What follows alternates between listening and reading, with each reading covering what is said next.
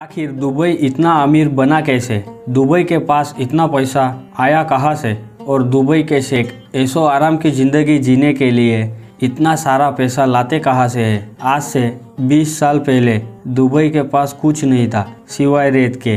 तो सवाल तो ये उठता है कि पिछले 20 सालों में इतना सारा पैसा आया कहाँ से? आप में से ज़्यादातर लोगों का जवाब यही होगा कि वहाँ तेल की खदानें हैं। लेकिन आपको बता दें कि दुबई में जनरेट होने वाला जितना भी पैसा है, उसका मात्र एक परसेंट ही तेल की वजह से आता है और बाकी 99 परसेंट कहाँ से आता है, जानेंगे आज की इस वीडियो में। तो बने रहना वीडियो में एंड तक। दोस्तों, ज़्यादा नहीं, बस 20 से 22 साल पीछे चले तो दुबई के पास रेत के अलावा कुछ भी नहीं था। लेकिन एक शख्स जिसने दुबई का पूरा नक्शा ही बदल दिया और वो इंसान है मोहम्मद बिन राशिद अल मखतूम ये ऐसे इंसान है जो बड़े दूर की सोचते हैं और इनकी इसी सोच ने आज दुबई को दुनिया का तीसरे नंबर का टूरिस्ट डेस्टिनेशन प्लेस के साथ साथ ग्लोबल हब और ग्लोबल डेस्टिनेशन बना डाला। तभी दुनिया भर के बड़े लोग दुबई में जाके अपना एम्पायर बिल्ड करने की सोचते हैं। उसी के साथ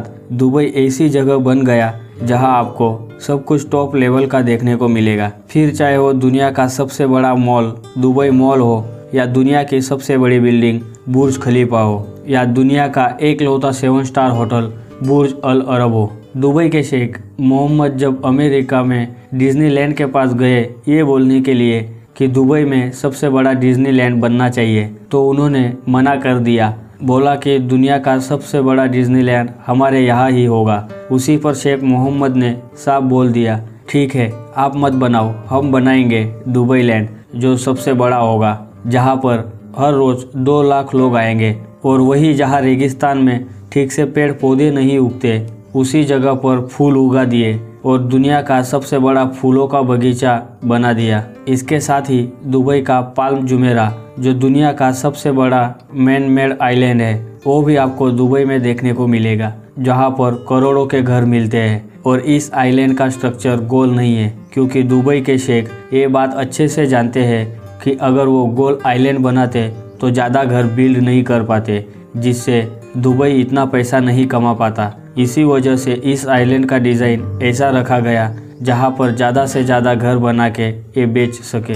इसी के साथ दुबई के कानून जानकर आपके होश उड़ जाएँगे। दुबई में आप अपनी गाड़ी गंदी नहीं रख सकते। अगर आपकी गाड़ी गंदी है तो आपके अकाउंट से ऑटोमेटिक 200 सौ कट जाएँगे। अगर आपने ट्रैफ़िक रेड लाइट जंप की तो भी आपके अकाउंट से ऑटोमेटिक 200 सौ कट जाएँगे।